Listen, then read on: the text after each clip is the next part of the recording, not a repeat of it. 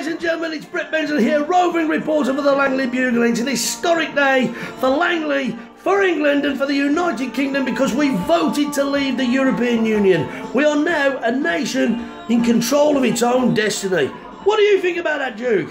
Well, I'm over the moon about it, of course. We're our own people now, you know. Never mind this European Union nonsense. And I'll tell you what, I want No, no, no, let me intervene. First of all, it's au revoir, France, with your snouts and your frog legs. Get out of here.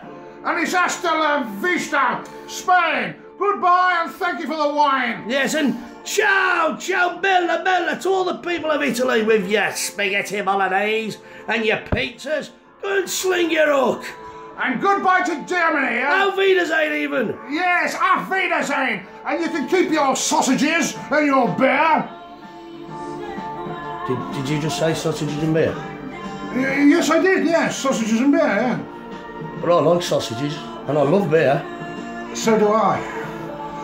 So maybe we're a bit hasty about the German thing. Yes. Germany, you can stay, you can You stay. can stay, yes. And, and, Be a part of Langley. and come to think of it, Budge, I love a bit of French wine every now and again. Well, I do as well. So, so French, come back! Yeah, come back, yes, France, French, you're, you're yeah, more yeah. welcome. And a chipolata.